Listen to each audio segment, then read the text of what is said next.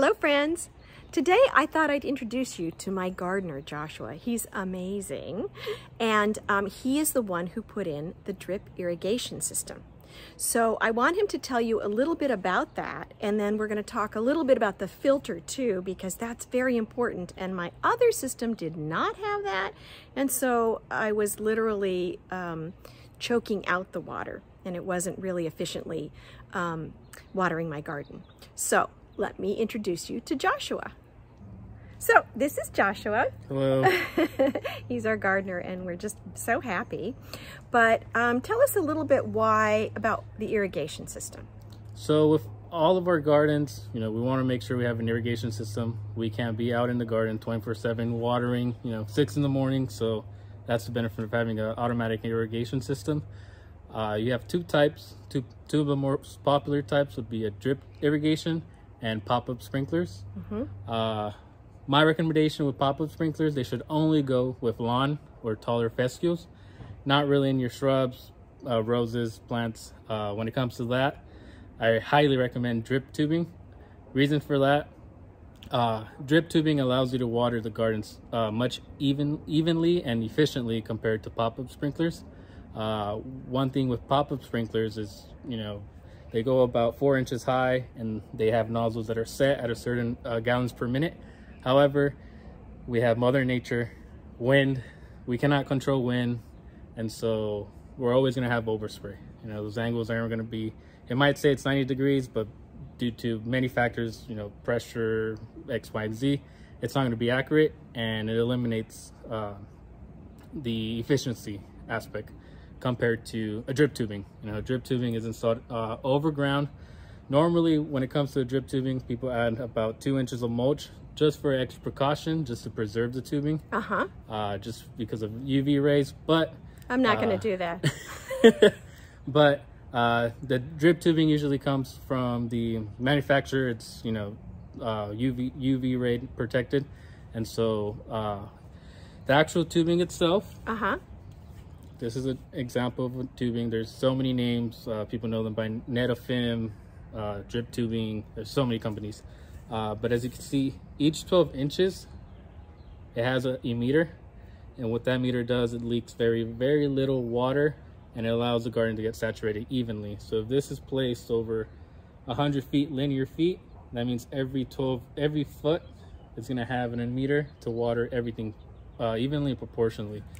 Versus pop-ups, these old guys, you know, they won't do that. And how long do you think, uh, you know, the drip irrigation should be, you know, you how, how long should you use it each day? So in regards to the drip uh, system, it all depends. The main factor is your pressure of your house. You know, as long as it's about 60 psi, that's good pressure. Uh, but you want to make sure the valve manifold has a pressure regulator and a filter. Uh, just because if you don't, uh, it's potentially uh, can damage the tubing just because it's rated at a certain pressure and depending also how much linear foot uh, the garden is uh, but well, let's take a look at the filter because I think that's going to be really important to making sure that the system works. Yes. Okay, so here we are at, I don't know, what is this called, Joshua? So typically, uh, people refer to this as your valve manifolds. Okay. Uh, these are brass manifolds, mm -hmm. three quarter inch. And so what this does, it supplies water to the irrigation system. On one end, you have the output, which is where it's connected to the water line from the house. This piping here is the water line. Mm -hmm. And then you have, sorry, this is the input mm -hmm. and this is the output. The output is the side where it sends water to the garden. Okay.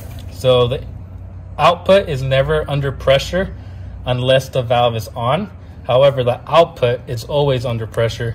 And so this pipe right now, if we crack it, it will, you know, burst water. Ah. And so what the valve does is uh, once you open the valve via solenoid, which is through how the uh, sprinkler timer turns it on, mm -hmm. uh, it releases all that pressure to the output side. Okay. And one good thing here, this is a perfect example of what you should have at your home. If you look at the water line, on this device here, this is a pressure regulator. So this is coming from the water line from the house, the, the main source. Uh -huh. And so what this does, it allows you to uh, regulate the pressure uh, for instance, if you have pressure over 70 psi or 80 psi, you know some properties do. This allows you to regulate that pressure to about 60 psi or even 50, depending on what uh, you need for your application. Okay. So now, uh, what about the filter down here? How does that work? So on the output side of the valve, uh, you should always install a filter slash an extra pressure regulator. And so what happens is... I'm excited to see what's in here. What happens is when that uh, uh, valve turns on and the diaphragm lifts, all that water that gushes through the drip system goes through this filter first. Okay. And so this screen here is going to catch any residue, obviously, because we live in California, the water is not the cleanest. We always have some settlement. You know, we always are going to have some kind of salt. And so you don't want this to go into the actual drip tubing.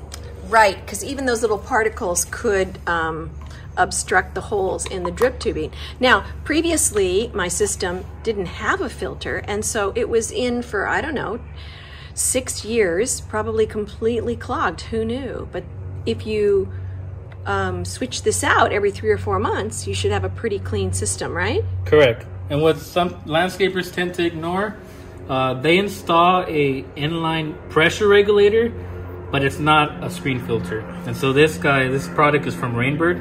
So this is a two-in-one. This is a water screen filter and a pressure regulator for the output side. Great. Okay. Well, Joshua, this has been an education, and I know that my viewers will really enjoy it, and we really thank you for all of your hard work. I'm going to put Joshua's information in the blog just in case you're interested.